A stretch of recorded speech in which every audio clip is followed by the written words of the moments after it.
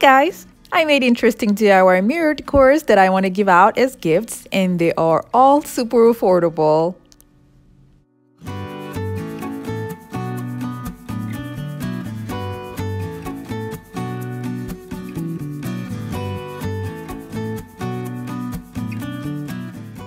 They were all so easy to make and I'd like to share with you guys how I made them. Now let's go ahead and get started with the first mirror design. I took a foam board and then I'm going to be drawing a large circle on the foam board and cutting it out.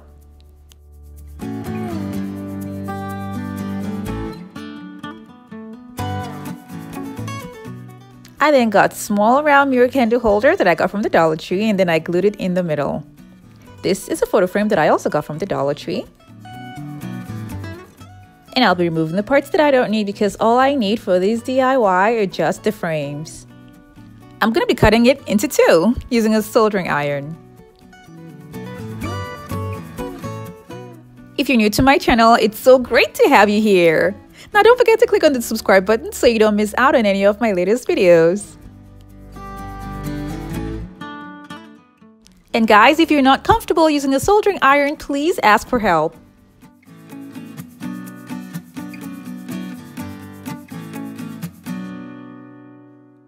This is what it looks like separated, and I did this for all frames that I got from the Dollar Tree.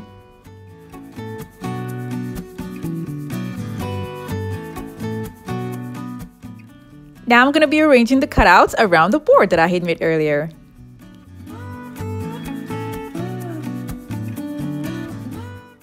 I thought this was going to work, but then apparently I had to push them all inside there would be a little bit of outer spaces that would show around the corners, but for now I'm just going to be gluing all of them down using a hot glue gun.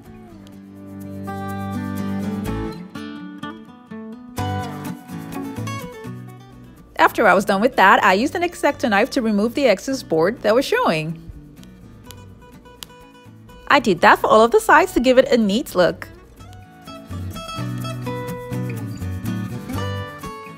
And now for the rough edges, I'm going to be using silver plastic spoons that I got from the Dollar Tree. And I detached this part and this is what I'm going to be using. And all I'm going to be doing now is using a hot glue gun to attach these pieces to cover up the rough edges.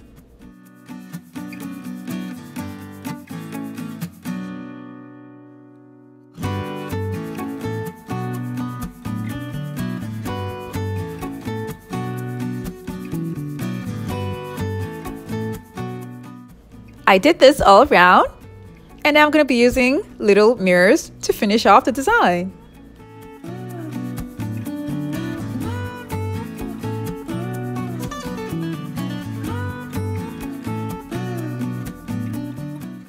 I'll be gluing this hook at the back to mount it on the wall.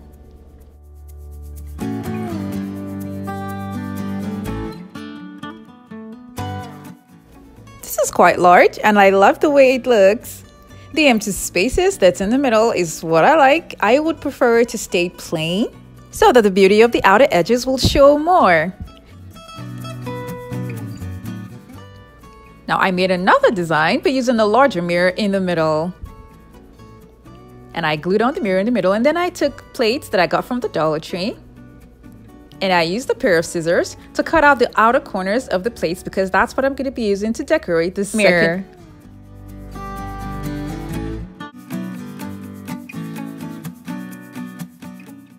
I had to carefully remove the white parts that were still showing because all I need is just the silver part. I measured them to make sure that they were all equal and then cut them with scissors.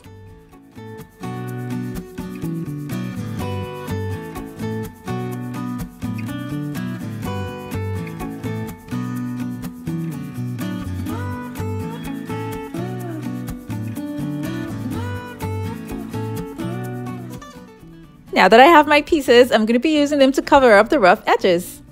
And I will be gluing them down using a hot glue gun.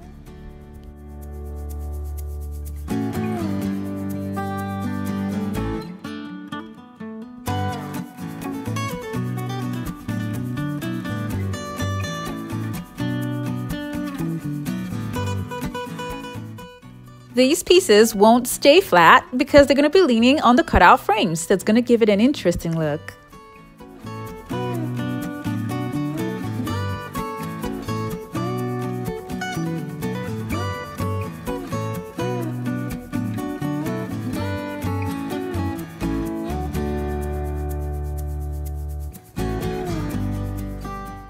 Now that I'm done with that, I'm going to be using gems to cover up the open spaces.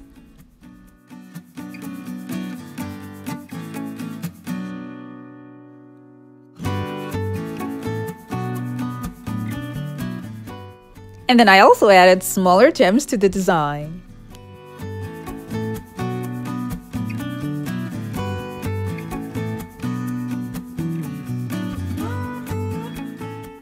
This is how it looks and it's so pretty. And this is the hook that I'm going to be gluing at the back to mount it on the wall.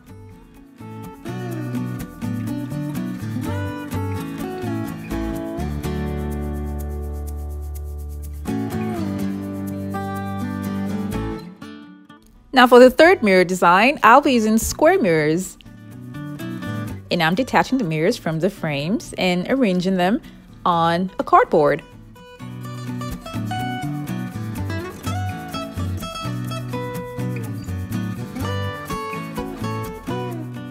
Now these mirrors turned out to be too small, so I had to use bigger mirrors. I had bigger mirrors that I got from the Dollar Tree a long time ago, but then they were much bigger than the ones I had before. So I glued them also on the cardboard.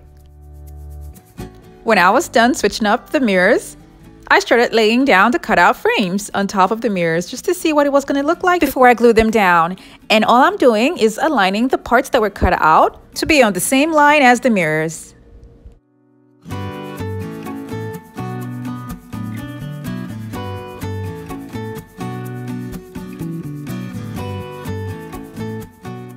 Now to add to the design, I'll be using roses that I made. And I made the large and small ones. As you can see at the back, they're actually made at home and they're much thicker compared to the ones that you actually buy in stores. I got these ones online and they're much flatter and you can spray paint them to any color of your choice. But then I made mine and they're much thicker and they're gonna fit just perfectly for the design. This is a short clip of how I made these roses and the link for this video is gonna be in the description box below and also at the top right.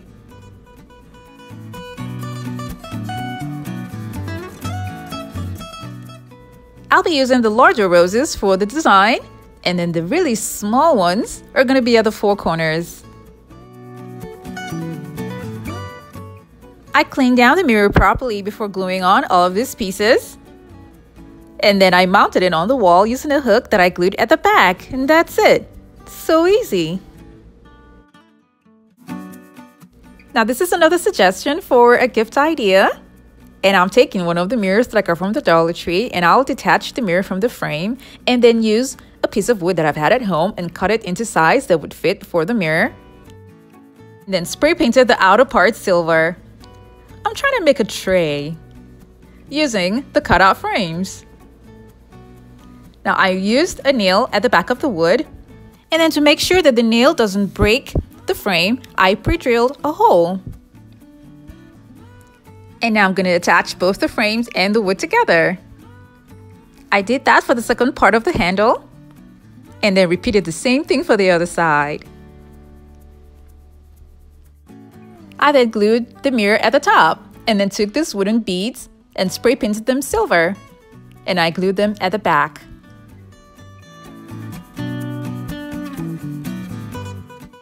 These are going to be serving as the stand. I'm using gems all around to cover up the wood surface that's showing. And as you can see the beads at the bottom gives the tray a lift and also makes it safe to be placed on any surface. These are all beautiful and inexpensive gift ideas that can be made in no time.